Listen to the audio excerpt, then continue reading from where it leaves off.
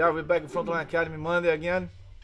Uh, today I have my boy Hama Balizani here. Hama Balizani, No, no. the fluffer. Aga Balisani. the fluffer. No, no, no. no. That's Hama. uh, yeah, we just had a Nogi session again with the professional MMA guys. Uh, we've been a little bit tough during the summer. So what's a lot going, a lot going on.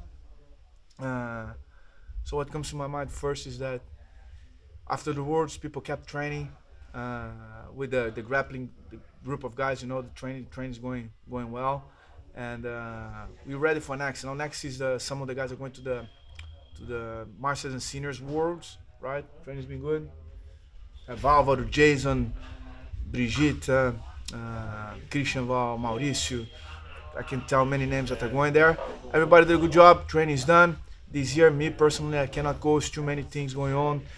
I'm busy with life right now, uh, but good busy. And hopefully, not hopefully, I'm aiming for the Nogi tournaments that are coming the next, the, the, the rest of the year.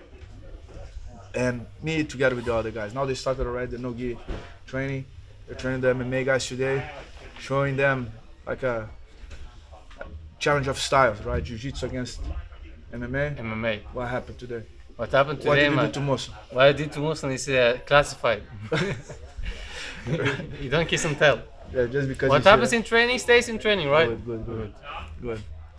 Uh, so that's it. Jack, Jack is on fire. The training for Jack is on fire. Uh, plus the other guys that are training with him. So with the MMA scene, so much going on. But I think the main thing is Jack fighting the main event. Like Mosso and I have been working with Jack a lot. Mosso have been working like extra times with him, and we have some very good tactics and very good uh, different ways that you listing and cataloging some ways that he can he can do good and work on that match. So he's been trained already. He had no major injury. Just he's back in shape already, and and yeah, just counting the days to to to step on the mat in Denmark in Copenhagen, right? To be good. So other than that, class the, the new semester started. Hama. Hama is uh, one of the instructors in the beginners class, right? If you come inside, you're gonna see this small guy with, this big smile, teaching you a little bit of jiu-jitsu and and yeah, I'm here every day, most of the day, teach all the many classes. Morten is having some great classes, um, some great, great classes every day. If you want to train Morten, he's here every day teaching his classes.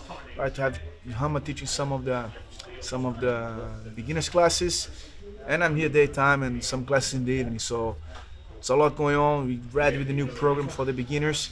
The academy is ready, so just waiting for people to to come and try a little bit, right? See you guys soon.